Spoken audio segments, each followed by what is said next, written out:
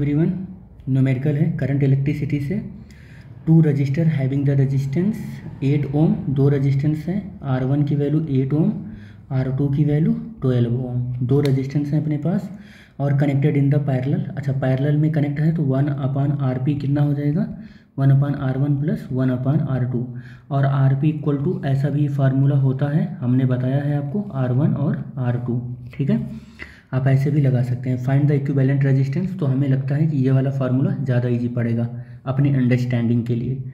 तो R P is equal to कितना हो जाएगा? एट इंटू ट्वेल्व और एट प्लस ट्वेल्व तो R P is equal to ये बारह अट्ठे छियानबे नाइन्टी सिक्स हो गया, बारह आठ बीस हो गया।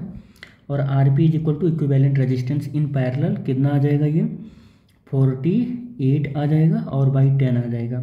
और R P is equal to ये फोर पॉइंट एट ओम आ जाएगा। तो आर पी हमारा फोर पॉइंट एट ओम आ गया। तो सीधा सिंपल सा ये फॉर्मूला पर बेस्ड न्यूमेरिकल था तो ऐसे आंसर हम कर सकते हैं।